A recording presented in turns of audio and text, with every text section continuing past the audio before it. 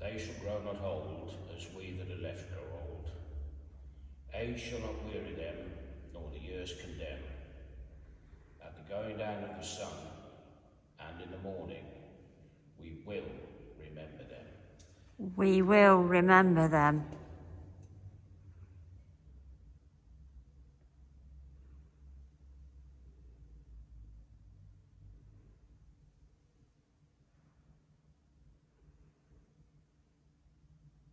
Heavenly Father, on this day we give thanks for the work of the Royal British Legion.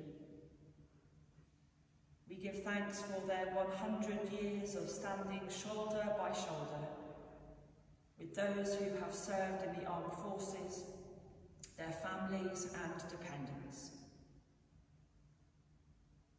Grant, O Lord, for the sake of those whose lives were lost in war, and for the sake of the generation to come, that the nations of the world may learn your way of peace, and that all may have a chance to enjoy the life you have given them, free from war, tyranny and oppression.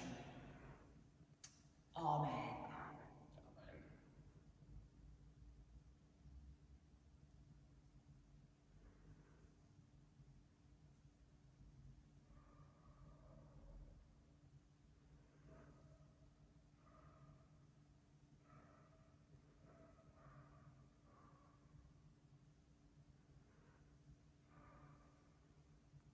When you go home, tell them of us we say, for your tomorrow we have our today.